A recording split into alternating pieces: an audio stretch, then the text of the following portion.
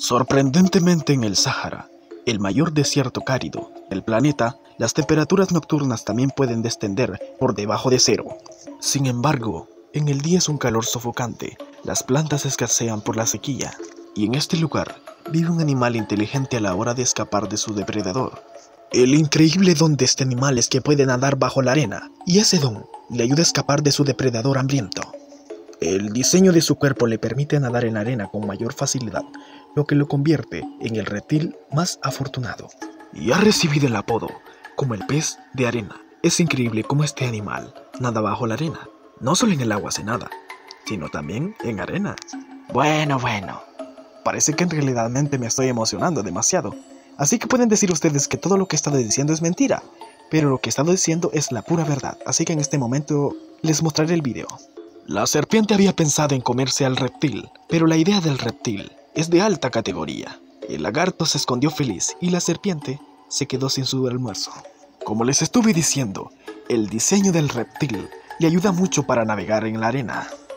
Así que la serpiente tiene que irse a otro lado. Tal vez en otro lado tenga un poco de suerte, ya que con este reptil no tuvo ninguna oportunidad de ganarle a él.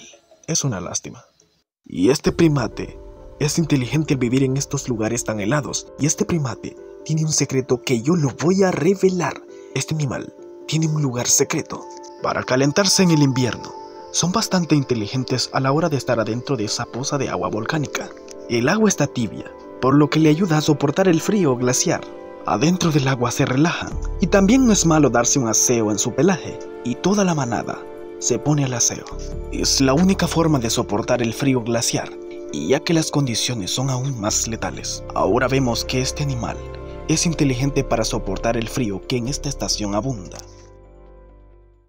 Pasemos ahora a un lugar donde el fuego reina con violencia y también es una tierra altamente inestable. Fuentes hidrotermales, volcanes y terremotos son recordatorio de las fuerzas tectónicas que operan su interior. Aquí la vida animal no parece que exista, pero como se dice, la vida resurge de las cenizas. El megápodo es un ave que desde hace tiempo vive en estos lugares. Es asombroso cómo han podido sobrevivir en estos lugares tan difíciles. Y ahorita nos vamos a dar cuenta de la maldad de este pájaro. Ha puesto en la mira a otra ave de su misma especie para robarle el nido donde ponerá sus huevos.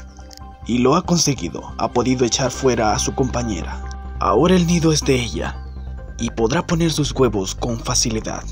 No solo los humanos en ocasiones hacemos maldades, sino también hoy los animales. Esto está terrible. Y esta es otra de las especies de animales más oportunistas, la comadreja. Gracias a su pelaje y color blanco, la comadreja está bien camuflada. La otra comadreja es de diferente color, por lo que en el invierno le es costoso buscar comida, ya que el color de su pelaje se le nota en la nieve blanca.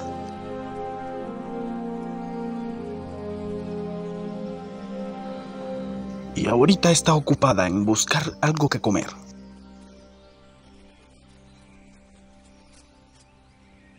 Se ha fijado en un ratón que no sabe que su depredador es blanco como un peluche de trapo.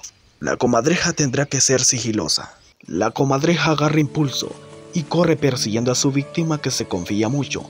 Así que el ratón se esconde en algo inseguro y paga el precio por no esconderse bien